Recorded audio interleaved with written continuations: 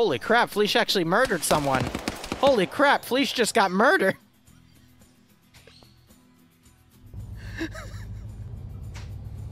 well, and Urzagal was none the wiser. No. Did you run into it? Yeah. We have a we have a wire mesh, not a wire mesh, but a, like a mesh thing. Are they committing more friendly fire? They're.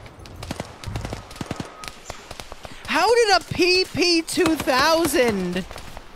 What? What is going on? What? What?